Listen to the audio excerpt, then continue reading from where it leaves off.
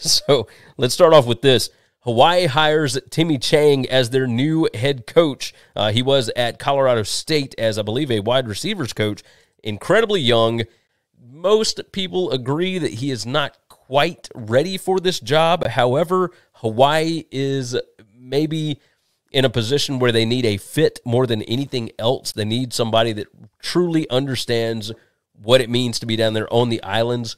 And, you know, it's a strange situation. All of the June Jones stuff. Did you see all this that went on over the weekend? I think Friday night was the uh, the biggest part of it. No. No. All right. So June Jones came out uh, and he he sent out a couple of tweets. He was offered the job and then declined the job.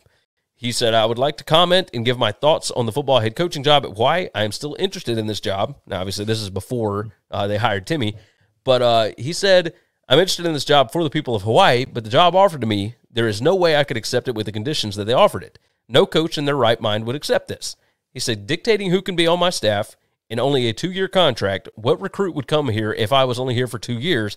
This has never been about money but it's about giving me the ability to turn our program around and not have people tell me who's on my staff or how to coach my team. So you get all of that before you get all the the Timmy Chang stuff, and I uh, started asking around to some people that that would have at least some knowledge of the situation, and basically because I, I looked at it and I said, "This is stupid. Like these guys down in Hawaii don't know what they're doing." This, I believe, was meant to be a mentorship he was going to like they told June Jones, you got to bring in Timmy Chang, and he's going to be your second hand guy. Like he's he's your right hand side, and you're going to teach him how to be a head coach. And then after two years, you're handing the reins off. Like we would love for you to come back and do that because June Jones ain't exactly uh, some spring chicken. I mean, he's 68 years old. He this would have been his last coaching job. I don't think he wanted it to be that. I think he wanted to have control of it and I understand where he's coming from.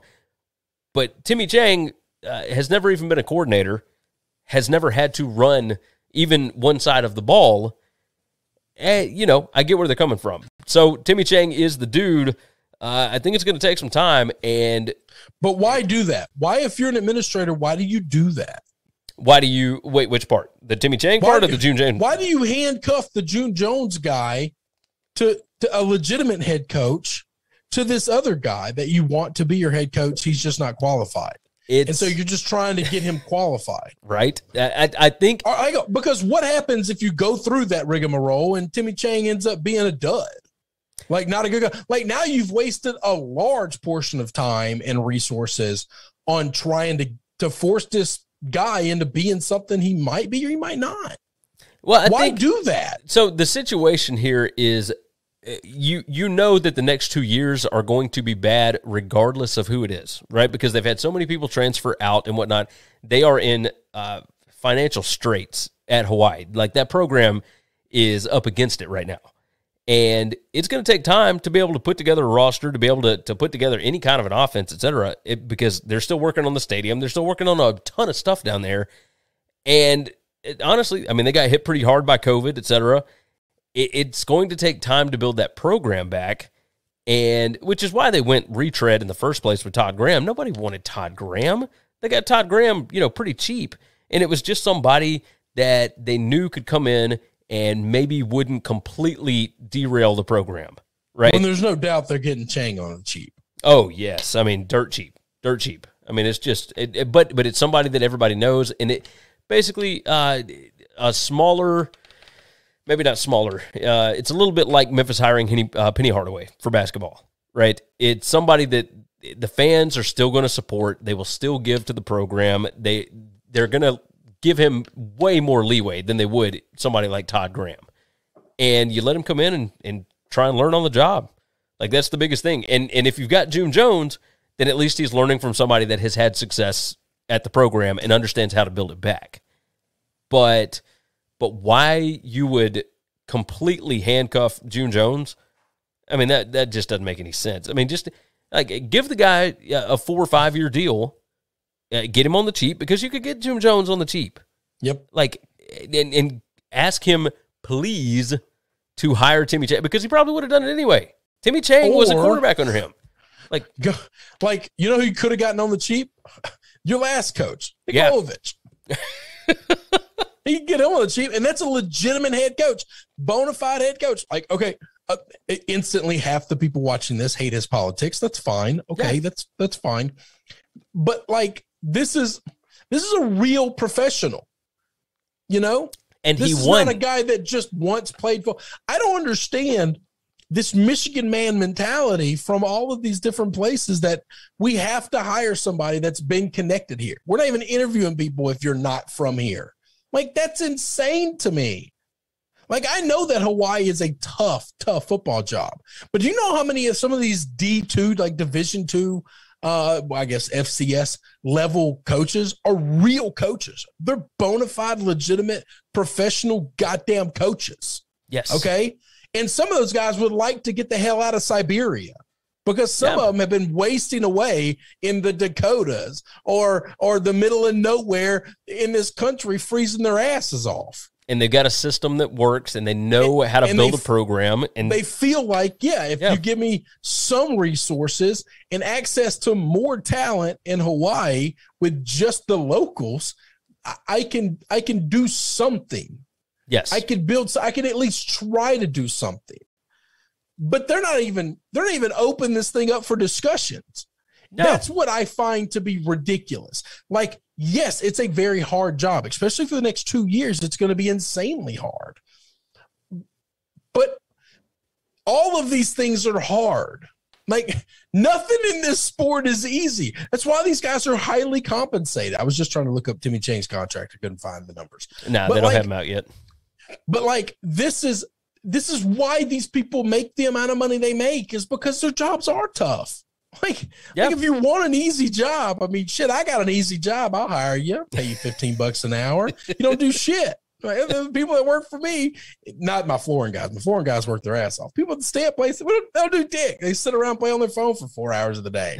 Like, like, but they also don't make a lot of money either. Like, yeah. it's not a complicated job. No, it makes they don't sense. have a lot of responsibility. Oh, uh, these guys are highly compensated because the job is tough. All right.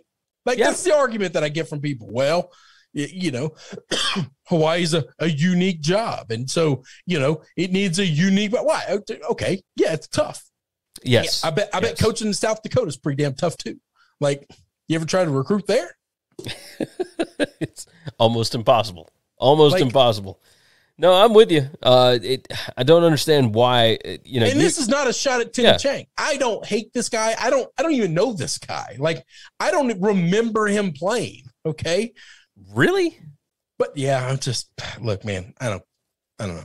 Wow. I, okay. I, okay. I mean, he was he was like I don't know what I was doing in 2012. Well, he was the right? superstar before uh before uh Colt Brennan. Brennan. Yeah. Yeah, and I remember so. Brennan. I remember Colt. Like but anyway, neither here nor yeah, there. He regardless. was there, what, 2012 time? No, like, no, no, no. Brennan, Brennan was like 07, 08. Timmy Chang was like 0, 03, 02, 04. Oh, well, then I was in the thralls of just me being in college. Like, no, that's when I was in school. Yeah. All right. No, he yeah, was he yeah, was a superstar. I, he he flung that ball all over the place. It was it was a no, lot of fun. That's fine. Yeah, I wasn't paying a whole lot of attention to to Hawaii back then. So it's it's um, still run and shoot kind of stuff. It's it's gonna be it's gonna be fun. And I um, wish ill on him. I just don't understand from a managerial perspective, from an administrative perspective, the people who are responsible for putting this on, the athletic department and the school president. I just don't understand. So you hired an outsider last time and it didn't work, and he was an asshole, and so now we're just not going to hire outsiders. Like we're just going to interview only our own people. Like this is not Michigan, where at least you have, uh, you know, several hundred years of alumni bases around school to be like to pick from your Michigan man. All right, like like well, this true. Is, this is Hawaii. You got like seven people in the world that might might be semi qualified. This guy is the second most qualified person of them all, and he's not qualified at all at yeah. all. No, that's. I mean, the other one would have been his uh, only qualification is like, he played the sport. Yeah, the running backs coach from Arizona State, uh, defensive. I want to say defensive line coach from BYU. All guys that like either played at Hawaii or coached at Hawaii that have like some ties to the current. Like that's that's what the list was basically down but to. But I don't understand that. Gary. But that's well, it's so part of it is the. Do they uh, not know that these other people exist in the world that coach football no, no, so, and they're really good at it? No, I, I, mean I'm, I'm I understand where you're coming from. I think part of it is the the time of the year that it is, like the calendar. Um, the other part is like, it- you know, it's all networking. A lot of this stuff is just networking. It's just you you go with guys that you know because That's of the, word you're looking situation. for, that you're in. right? Wait, what? Nepotism. That's the word Yeah. you're looking for. Yeah, hundred percent. Yeah. hundred. Thanks for listening to the Winning Cures Everything podcast. The website is winningcureseverything.com. And if you want to connect with us, we're on Twitter at Gary WCE, at Chris B. Giannini, at Winning Cures, or you can email us, Gary at winningcureseverything.com or Chris at winningcureseverything.com. Subscribe everywhere you need to subscribe, and we'll see you soon.